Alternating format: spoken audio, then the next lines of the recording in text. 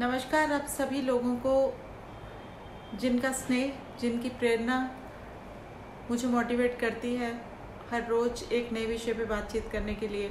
आप लोगों ने बहुत सारे आज पितृपक्ष से रिलेटेड प्रश्न किए हैं व्हाट्सएप पे और बहुत लोग इस बारे में भी कंफ्यूज थे कि कब से तर्पण शुरू होगा और कितने दिन तक रहेगा और इन दिनों में क्या कोई नई चीज़ खरीद पाएँगे या नहीं कर पाएँगे और कौन से उपाय हैं जो इन दिनों में करने से ज़्यादा फल मिलते हैं, ज़्यादा अच्छे रिजल्ट्स आते हैं घर के अंदर?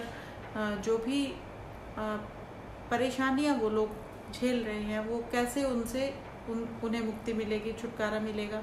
तो बहुत ही अच्छे प्रश्न हैं, बहुत सारे बहुत सारे जिज्ञासा लोगों के मन में है। उसी को शांत करने के लिए, उसी के ही आंसर्स आज आप लोगों के रूबरू में लेके आई हूँ।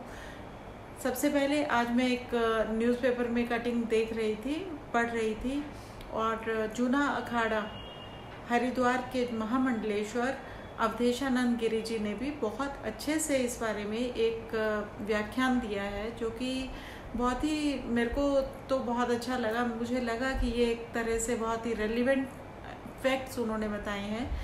उन्होंने लिखा है उसमें कि गणेश पूजा और देवी माँ के आगमन के बीच के दिनों में पितृ धरती पे आते हैं, सूक्ष्म रूप में। और ये दिन उन, जब वो सूक्ष्म रूप में हमारे आसपास रहते हैं तो उन्हें खुशी मिलती है जब हम कोई नई वस्तुएँ खरीदते हैं, कुछ अच्छा करते हैं। क्योंकि ये दिन ये दिन जो रूढ़ीवादी लोगों ने इस तरह से एक परंपरा बना दी कि इन दिनों में कोई नई चीज़ नहीं खरीद सकते, ये उन्होंने इसको, इसका खंडन किया है। उनके मुताबिक जब पुराने समय में लोग अपने पितरों के लिए इन, इस पक्ष के अंदर पूजा पाठ में लगे रहते थे, उस समय उनके पास समय ही नहीं बचता था और बाकी काम करने का। लेकिन आज तो आधुनिक युग है, बहुत सारे सुख सुविधाएँ हैं और हम लोग तर्पण करने के लिए बहुत सारे तरीके हैं, बहुत सारे पंडित और बहुत सारे जो इस चीज़ का ज्ञान रखते हैं, वो हमारी मदद करने के लिए तत्पर रहते हैं। और आजकल हाउस होल्ड में भी पहले की तरह तो कुछ नहीं रहा कि हर चीज़ को उसी टाइम आटा भी बनाना है तो पहले गेहूँ पीसना है। ये सब चीज़ें अब नहीं है। अब सब चीज़ें रेडीमेड मिल रही है। सब चीज़ें, सब चीज़ों के लिए समय है। तो एक ये जो परंपरा चली आ रही थी, उसको रूढ़ीवाद में कन्वर्ट कर दिया गया। अदरवाइज़ कोई भी नई चीज़ आप खरीद सकते हैं। हमारे पितृ, हमारे पुराने पीढ़ी दर पीढ़ी से चले आ रहे हमारे बड़े लोग हैं। वो अगर सूक्ष्म रूप में हमें खुश देखेंगे, जिसमें हमें फल, फलते, फूलते देखेंगे तो उन्हें, उनकी आत्मा और तृप्त होगी, उन्हें और ज़्यादा खुशियाँ मिलेंगी।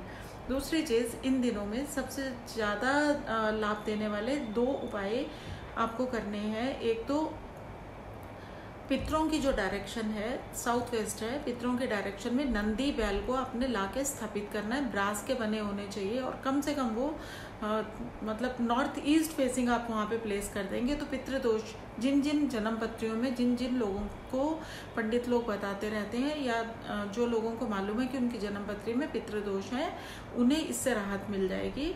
दूसरी चीज़ आपने बुद्ध की दिशा में नॉर्थ की डायरेक्शन में, बुद्ध की दिशा में पारे के शिवलिंग को रखना है और उनकी जो जल गिरने की जगह होती है, उसको नॉर्थ की तरफ़ फेस करके आप प्लेस कर दें कांच के बाउल में।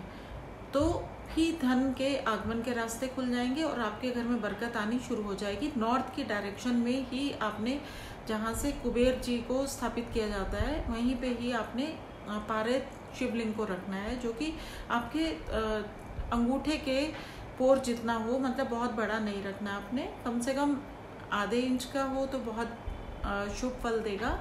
आप दो उपाय ये अगर कर लेंगे तो गणेश जी की आराधना तो आप कर ही चुके हो। पिछले कुछ दिनों में, दस बारह दिन अब गणेश जी की पूरी पूरी धरती के ऊपर, पूरे ब्रह्मांड के अंदर उनकी जो सात्विक ऊर्जाएँ थी, उन्होंने श्रीगणेश कर दिया। इसके बाद आप देवी के आगमन की तैयारियाँ होंगी, पितृपक्ष अभी चल रहा है और पितरों की ब्लेसिंग्स आपको भरपूर मिलेंगी। मेरा ये अनुभव है और मैं आशा करती हूँ कि अगर आपने ये दो उपाय कर लिए तो आप मुझे बहुत अच्छी रिस्पॉन्स देंगे रिजल्ट्स देंगे। धन्यवाद। नमस्कार।